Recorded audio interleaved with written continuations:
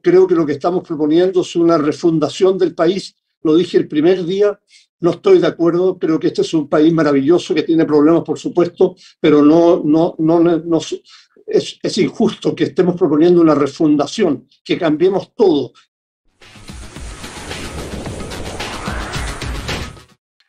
Eh, me voy a referir al rol fundamental que deben cumplir las normas transitorias en el proceso de implementación de una nueva constitución. Lamentablemente creo que esta convención, o mejor dicho, algunos constituyentes no han entendido este rol. Más bien pareciera que lo han tomado como otra oportunidad de concretar sus ideas políticas o bien de implementar derechos que a ellos les interesan y hacerlo de manera muy expedita, tan rápido que a veces generan más problemas que soluciones, dejando de lado las verdaderas necesidades de las personas. Por ejemplo, falta claridad de qué pasará con la transición, fíjense ustedes, ¿eh? No hay claridad de qué va a pasar con la transición del sistema de educación, tampoco de los ahorros previsionales, o de cómo se va a implementar el nuevo sistema de salud. Vaya qué ausencias tan fundamentales. Una transición debe ser integral, responsable, democrática y neutral. En este sentido, las normas propuestas lamentablemente no cumplen con estos requisitos. ¿Por qué digo que no es integral, por ejemplo? Porque se están dejando sin una adecuada transición ciertos derechos e instituciones esenciales.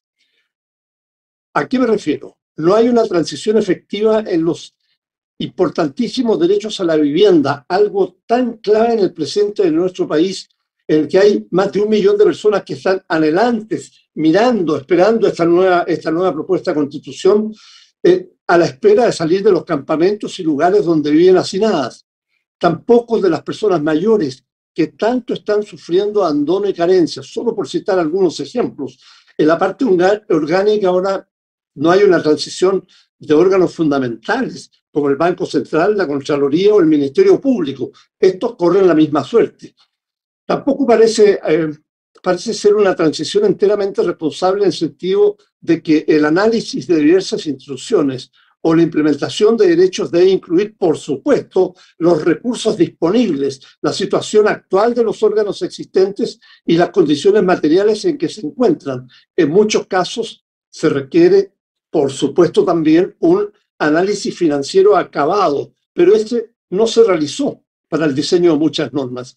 En ese sentido, en el artículo 26 propuesto, 26 propuesto, se regula la creación de un, de un eh, organismo encargado de sistematizar la información necesaria para proponer los mecanismos de compensación y distribución de los ingresos fiscales entre las distintas entidades territoriales en un plazo máximo de seis meses desde la entrada en vigor de esta constitución, siendo que en dicha fecha no habrá ninguna entidad territorial percibiendo ingresos propios como contribuciones o impuestos regionales que permitan tener un, eh, un estimado del monto que se está recaudando. En otro punto me quiero sumar a la idea de que un quórum de dos tercios para que el nuevo legislativo apruebe cambios a, a nuestra propuesta, propuesta de nueva constitución me parece del todo excesivo parece esta una nueva ley de amarre de la que los chilenos tenemos tantos malos recuerdos.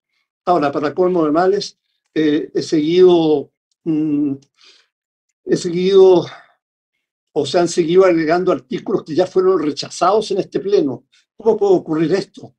Todo esto me hace sentir una profunda desilusión de la marcha de nuestra convención. Tenemos muchas cosas maravillosas y fantásticas, pero, pero lo que lamento en el fondo de mi alma es, son las cosas que he señalado.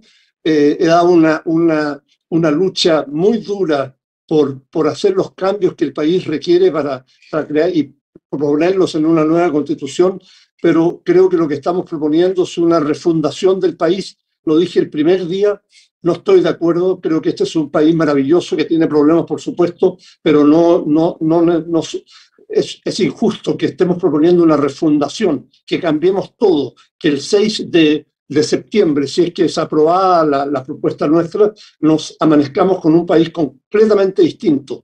Quiero a mi Chile, lo amo, por supuesto, y lo quiero como lo tenemos, con los cambios necesarios que eran indispensables en vivienda, educación, etcétera, pero no con una refundación.